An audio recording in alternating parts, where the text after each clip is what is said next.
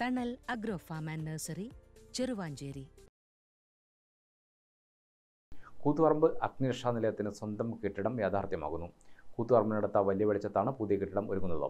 സ്ഥലത്തിന്റെ master of sketch Cheruvanchery village officer P K Unnikrishnan ജില്ലാ fire officer S K ബിജുമോന് കൈമാറി.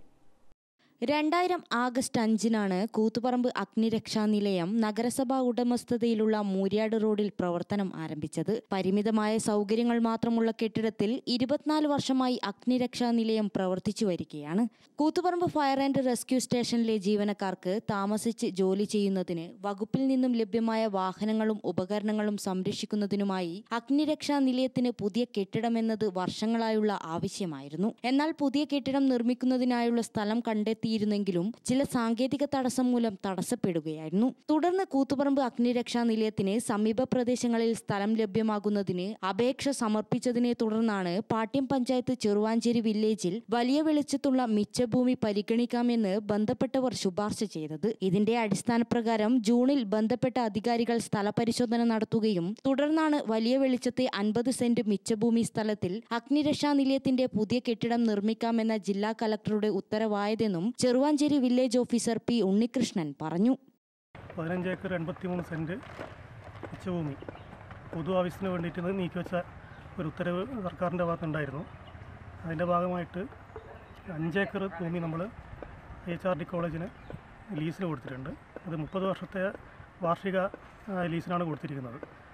പിന്നെ ഒരു പതിനഞ്ച് സെന്റ് ഭൂമി പഞ്ചായത്ത് പാട്യം പഞ്ചായത്തിന് ജലജീവൻ മിഷൻ പദ്ധതിക്ക് വേണ്ടിയിട്ട് വാട്ടർ ടാങ്ക് ഉണ്ടാക്കാൻ വേണ്ടിയിട്ട് കൊടുത്തിട്ടുണ്ട്.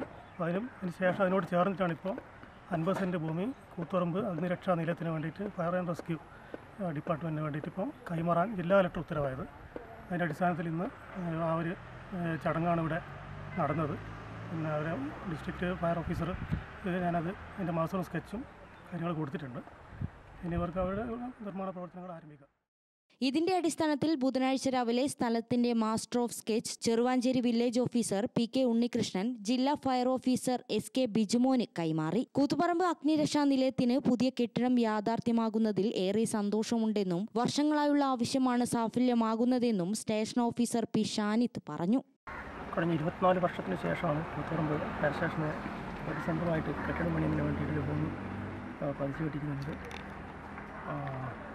ചെറുവ പാട്യം വില്ല് പാട്യം പഞ്ചായത്തിലെ ചെറുവാഞ്ചേരി വില്ലേജിൽപ്പെട്ട റീസർവേ നമ്പർ ഒന്ന് ആറിൽ പെട്ട അമ്പത് അമ്പത് സെന്റ് സ്ഥലമാണ് നമുക്ക് ലഭ്യമായിട്ടുള്ളത്. രണ്ടായിരത്തിലാണ് ഫയർ സ്റ്റേഷൻ സ്റ്റാർട്ട് ചെയ്തത് രണ്ടായിരത്തിലാണ്. ഇരുപത്തിനാല് വർഷമായിട്ട് നമ്മൾ സ്ഥലത്തിന് വേണ്ടി നോക്കുകയാണ്.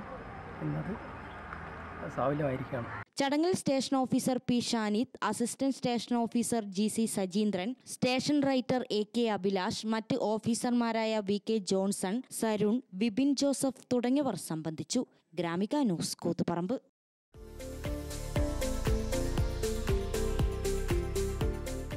Thanal agro farm and nursery Cheruvanchery. Gardening രംഗത്ത് കാൽ നൂറ്റാണ്ടിന്റെ പരിചയ സമ്പത്ത്. വൈവിധ്യമാർന്ന അലങ്കാര ചെടികളുടെയും കാർഷിക നടീൽ വസ്തുക്കളുടെയും വിപുല ശേഖരം. ഹോൾസെയിൽ റീറ്റെയിൽ രംഗത്ത് നൂറുകണക്കിന് സംതൃപ്തരായ ഉപഭോക്താക്കൾ. വിദഗ്ധരുടെ മേൽനോട്ടത്തിൽ ഗാർഡനിംഗ് ലാൻഡ്സ്കേപ്പിംഗ് ആൻഡ് മെയിന്റനൻസ് എന്നിവ ചെയ്തു കൊടുക്കുന്നു